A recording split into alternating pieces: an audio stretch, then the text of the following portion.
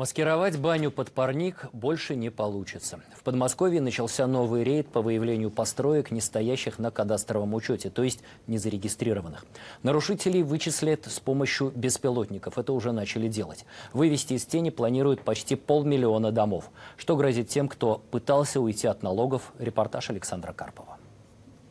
Вы все еще не поставили на налоговый учет свой загородный особняк или дедушкин щитовой домик? Тогда они идут к вам.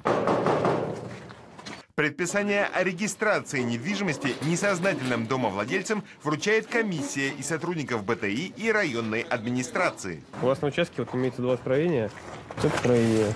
И вот за ним которое строение. Вот это зарегистрировано. Но в базе же не Как? Ну как мы за нее налоги платим? На другой здании документов нет, они должны оформить.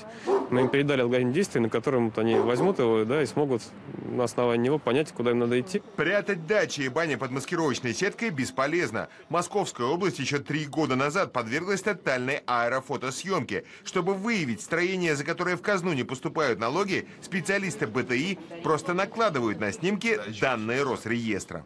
На данном примере видно, что вот эти два больших коттеджных строения, вот этот маленький, они не зарегистрированы.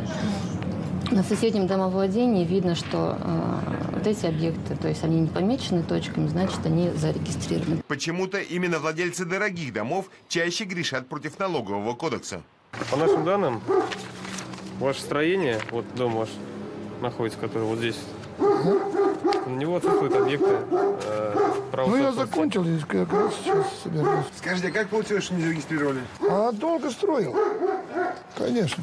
Долго, много? Крызы же. Человек получает разрешение на строительство, стандартный срок э, для такого разрешения 10 лет. Он строится, он может отстроить дом за год, за два, и все остальное время он как бы не обязан регистрировать уже построенный дом. Нарушителям грозит увеличение земельного налога в несколько раз. В октябре-ноябре были только районы примкадные.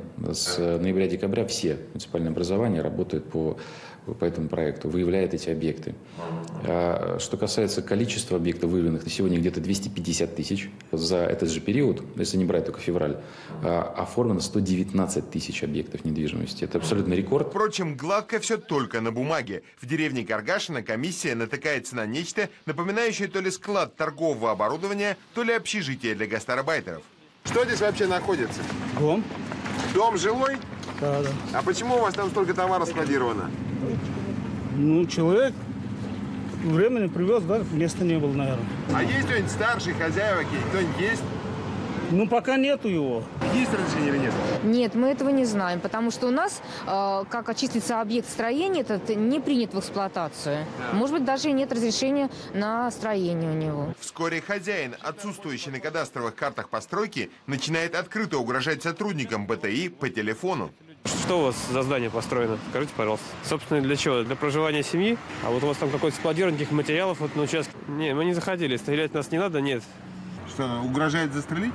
Важный нюанс. Регистрировать заборы, навесы, туалеты, сараи, гаражи и парники не надо. Объектами недвижимости считаются капитальные строения на фундаменте площадью от 50 квадратных метров. Александр Карпов, Павел Глазунов, Александр Косенков. Вести.